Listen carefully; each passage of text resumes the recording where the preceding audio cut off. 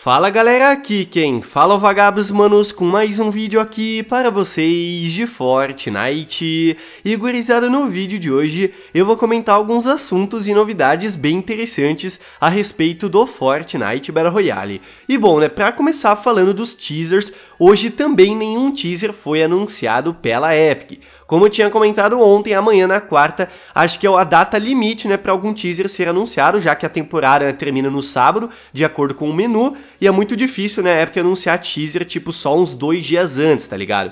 Então vamos ver né, se amanhã vai ter teaser, se não tiver, há uma possibilidade então, né, da temporada começar na terça que vem, como eu já tinha comentado, ou a Epic Games não anunciar nenhum teaser, né, deixar, digamos que, esse mistério, né, do tema da próxima temporada. Muita gente tá comentando que a Epic Games tá apostando nisso, numa temporada que não vai ter teaser, não vai ter vazamento, deixar tudo mais misterioso, mas não sei, né, tipo, a Epic sempre teve o padrão aí de ter teaser, ter vazamento nos últimos dias, então vamos ver se dessa vez vai mudar, ou se de fato, né, só não vai ter teaser, ou quem sabe a temporada vai começar só na próxima terça, como falei, mas por enquanto, claro, nada confirmado, vamos ficar ligado amanhã se algum teaser for anunciado. Só que olhem só, aparentemente a primeira imagem aí da próxima temporada foi vazada, tá? Essa imagem aqui tá circulando bastante no Twitter, um usuário né, do Xbox tirou essa foto, né, que ele achou essa imagem na Xbox Store. Bom, a gente pode ver o que? A logo do Fortnite e atrás, né, uma cor verde, meio que verde com um degradê em amarelo, um pouquinho no canto, mas predominante verde, né? Tipo assim, a gente não sabe se essa imagem é fake ou é real. Me parece, né, ser bem real, mas é aquela história, né? Sempre tem imagem fake circulando na comunidade. De qualquer forma, né? Se a imagem for real mesmo, não revela muitas coisas pra gente. Afinal, é só o ícone aí do jogo. Só que tem a cor verde, né? Todo mundo tá ligado que geralmente essa cor que aparece aí no fundo tá indicando alguma coisa, alguma parada do tema da temporada. E ninguém sabe o que o verde pode significar. Muita gente comentou que pode ser só o verde ali porque ele tá na Xbox Store, tá ligado? Realmente pode ser isso, mas é provável que tenha alguma relação né, com o tema da próxima season, como eu falei, se essa imagem for real. E como eu disse, a galera não conseguiu identificar nada a não ser o monstro Catus. Exatamente. Olhem só, manos, o monstro Catus, ele meio que tem, né, uma, um poder, vou dizer assim, verde dentro dele, né? Quem acompanhou o evento tá ligado que ele brilhava meio verde, como dá pra ver nessa imagem. E é uma cor, né, bem parecida com a que aparece atrás do logo, tipo um verde bem brilhante, bem claro.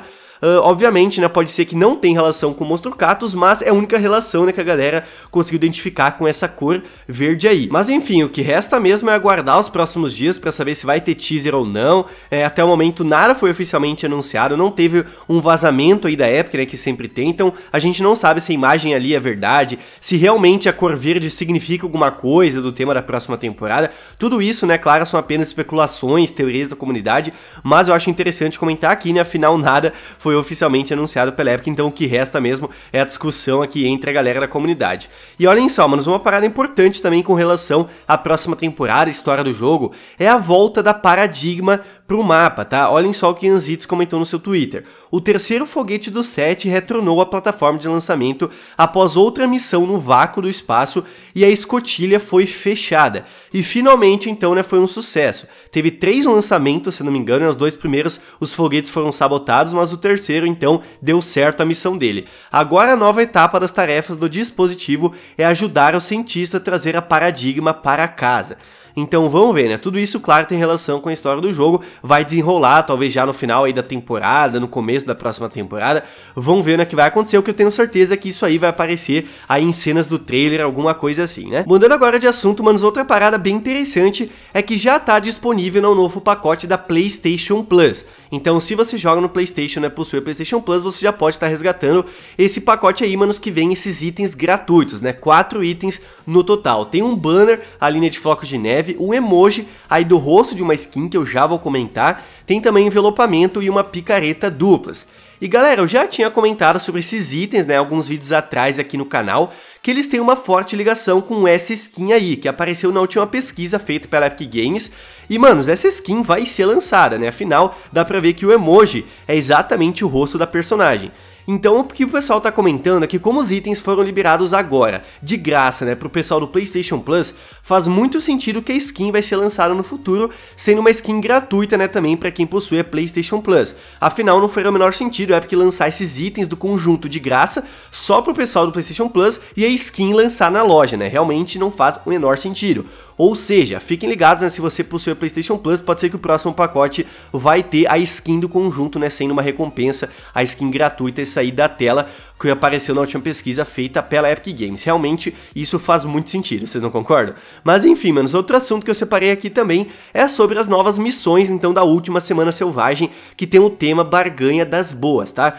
Todas essas missões foram liberadas, né? Todas quase iguais, que é para você gastar barras, comprar itens, aprimorar armas. Então, em tudo basicamente você tem que gastar barras, né? Porque game sempre faz isso no final da temporada e você consegue bastante XP, tá? Então, se você tá precisando daquele XP extra aqui no final da temporada, né, dá uma conferida nas missões que foram liberadas hoje, assim você consegue né, upar um pouco mais o seu nível até o começo da temporada 2. E para fechar, manos, eu quero falar a respeito de novos pacotes, né, que podem chegar no futuro do jogo, que podem ser muito parecidos com o pacote de tarefas de Ascensão Monarca, né? Esse pacote aí que foi lançado, que tem uma skin da Sonho, né, basicamente aí na versão Dark, tá ligado? Preto e branco ali e tudo mais, também tem o estilo dourado, que chama atenção, né, porque foi um pacote diferenciado, afinal tem aquele livro de missões que você faz as missões, né? Você coleta ali no mapa e tal, e você upa de nível ali já automaticamente, né? Isso foi uma surpresa, né? Uma novidade aqui da temporada. E de acordo com o Yanzitz, a Epic Games né, fez uma pesquisa recentemente em que eles perguntam, né, pra galera se eles gostariam de ver mais pacotes, né, como esse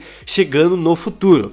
E, manos, aparentemente muita gente gostou, né? Muita gente curtiu essa ideia de upar os níveis rápido, assim, com o pacote, né? Ajuda muita gente que tá atrasada no passe de batalha. Mas uma coisa que eu vi um pessoal né, reclamando é em relação mesmo à skin. Que se for para lançar um pacote né, parecido ali com né, o para os níveis, que é porque coloca uma skin diferente, não uma skin né, recolor, como a galera chama, que é uma skin que já foi lançada, só que com as cores diferentes.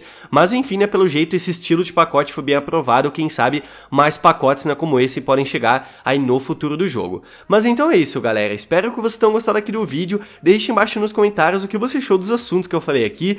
Será mesmo que aquela imagem do Xbox é verdadeira? Que atrás ali da logo do Fortnite ainda tem as cores ali verde, um pouquinho de amarelo, que é o tema da próxima temporada?